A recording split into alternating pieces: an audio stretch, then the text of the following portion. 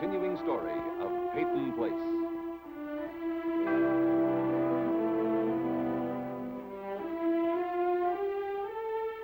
Starring Dorothy Malone as Constance Mackenzie, Ed Nelson as Michael Rossi, Mia Farrow as Allison Mackenzie, Ryan O'Neal as Rodney Harrington, Barbara Parkins as Betty Anderson, Tim O'Connor as Elliot Carson, Christopher Connelly as Norman Harrington.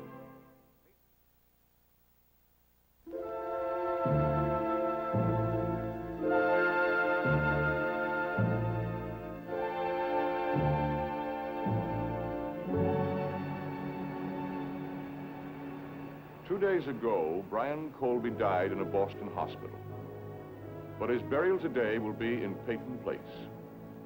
Anne and Stephen Cord must pick up Dr. Michael Rossi. They are the only mourners. The choice of Colby's final resting place was made by his daughter Anne. For Martin Peyton and Hannah Cord, Anne's decision is a warning that even from the grave, Brian Colby may still reach out to destroy them. It's just a postponement, Martin, not a reprieve. I told you, when I called the hospital, Stephen answered the phone from Brian's room. That proves nothing. Then why is Brian being buried here? Unless he wanted it? Just like Brian to suggest it. He always had a warped sense of humor. He shot the remains buried near my daughter Catherine, making a coarse joke of eternity. Well, if I thought he'd stopped at asking to be buried here without telling why, I'd laugh too. You'd laugh? Brian's shoddy remains. Is he any worse than your daughter? A murderess?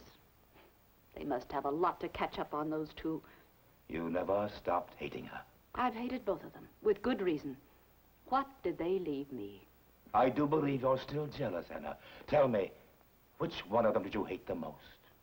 You ought to be able to answer that one for yourself, Martin. Which one gave me the most cause to hate? A greedy, selfish little girl who couldn't keep her hands off anything she wanted. That's enough. No, Martin, no. It's not nearly enough. Not for all the years I had to pay for her mistakes. And you were well paid. It's a little late to start crying over your loss. As I recall, at the time, you were glad to be rid of him. After all, you got his son in exchange. Yes. I got Brian's son. When he was a baby, I used to stand over his crib telling myself that. Hating him, wishing he'd never been born. But over the years, he stopped being Brian's son and became mine. He is my son, Martin. And if I lose Stephen, what do I have left? What you've always had. A job. Taking care of a dying old man. I'm a long way from dead, Hannah. And what will you have to live for? Your precious Rodney. Well, Martin, if Rodney finds out the truth, he's going to despise you, and you'll lose him just as I'll lose Stephen. Then our interests are the same. Not quite. Because whatever Rodney finds out, he's still your heir. Your legitimate heir. And Stephen will have nothing left, not even the crumb of hoping someday you might acknowledge him. Ah, that's conjecture. Brian Colby may have died before they got there. If it wasn't Brian's idea to be buried here, then whose was it? And why? Don't be tempted, Hannah. Keep away from that cemetery. Unless you want the truth to come out right now. Are you ready to face Anne and Stephen there? A family reunion over your husband's grave?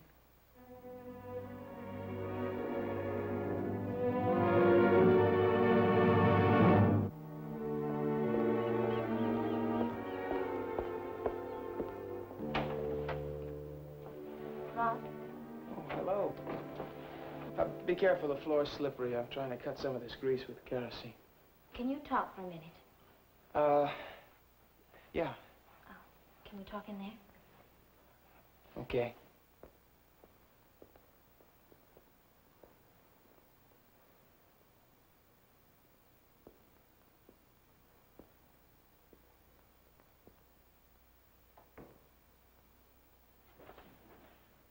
Betty, you and I have...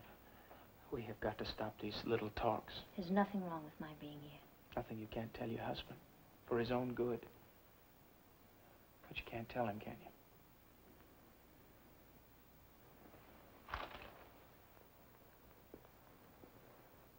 Did you know that uh, Anne Howard's father was an artist? No, I didn't.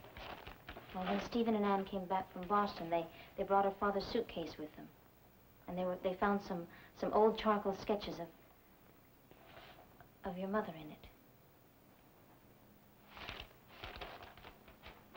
My mother? Well, her portrait, the one that was slashed. Well, are you sure I'm... Well, it was your mother's face in the same pose.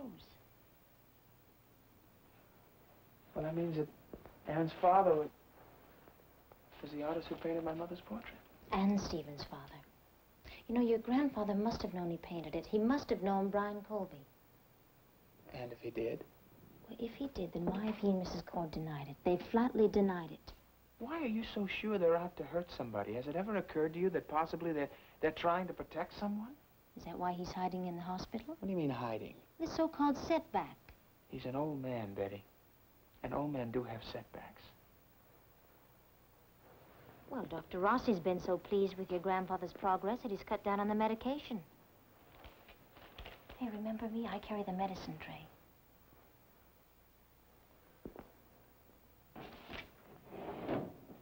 Well, why is it every time that I suggest that your grandfather or your father might be up to no good, you put on the blinders?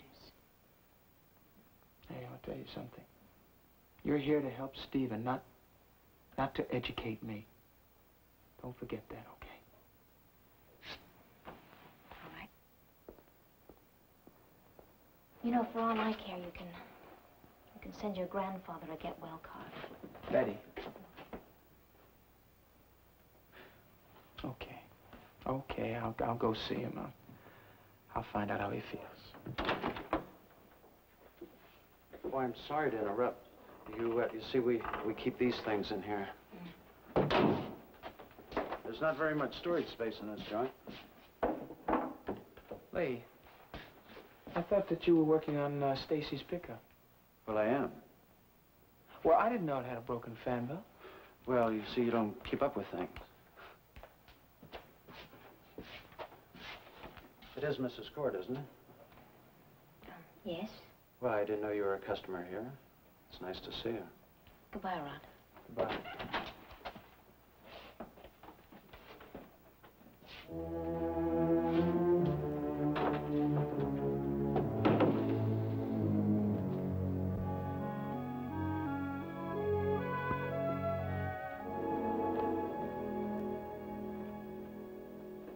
Found anything yet?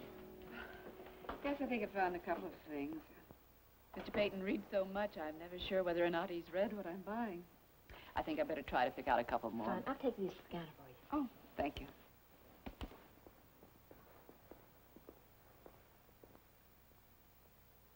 Mother? Mm-hmm? What's it like to have somebody close to you die? You thinking of Ann Howard? Maybe I should have gone to her father's funeral.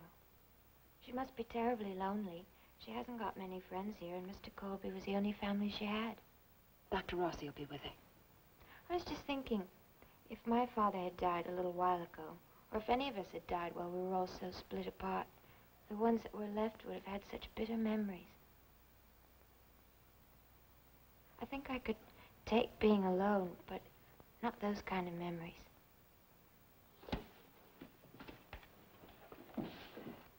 Excuse me, but I, I don't seem to find anything else. Uh, how much did they come to? Let's see, that comes to 642. Thank you. Just charge it, please. Oh, Miss Cord, your books. Thank you. You're welcome.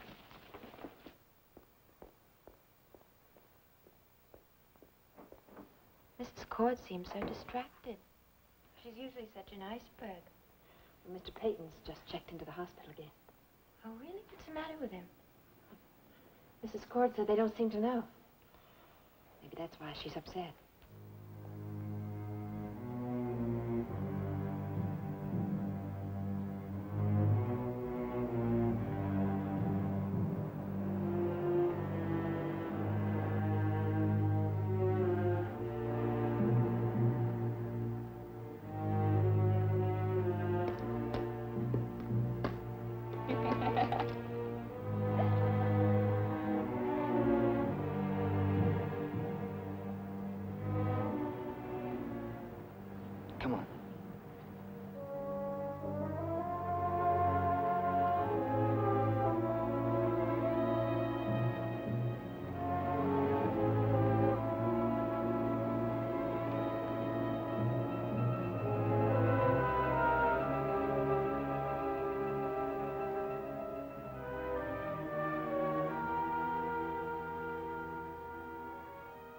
Mrs. Cord, are you all right? Oh, yes, I'm fine, thank you. You sure? I could get you something, water or something. No, I'm perfectly all right, really. I... Weddings and funerals always make me emotional. Rather stupidly emotional.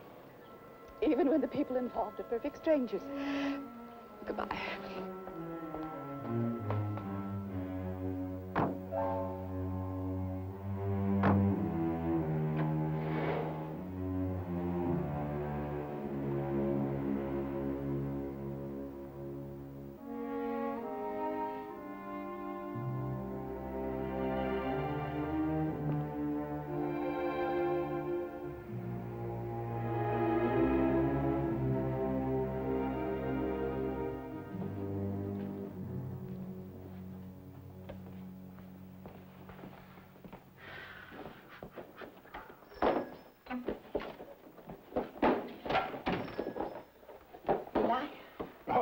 Hi, Constance. You know, I learned bad tricks when this was a chandlery. This is my idea of how to keep stock. Ain't it terrible? Talk to me. What is it? Eli, a hearse just passed by. Ann Howard's father. I know. I ducked it. I mean, I really ducked it. I got thinking and brooding, and I just had to think up something to do. Any old thing to keep busy. Just as the car passed, I, I felt the baby kick. That's life and death. Eli, do you know how much I want this baby? I can guess. For Elliot, for me, Well, hey, how about me? oh, you too. I want it more than anything else in the world. Sure you do. But I don't want it to grow up with black limousines rolling by. Constance, dying's a part of living. Your son's going to have to learn that. You and Elliot aren't going to be around forever. Neither am I. It's funny. What? The baby just kicked again. He heard us. And he's protesting. right. Tell me something. What? Something I've never been able to understand. What is it? Why you make so much sense. Constance, don't you know my secret? Hmm. Well, you see, I pretend that I'm saying something very deep and profound. But actually, I'm listening to the other fella because he might be saying something that's really deep and profound and might not know he's saying it. Listening, that's my secret. Thanks, Eli. you take good care of my grandson. Mm. Bye. Bye, Constance.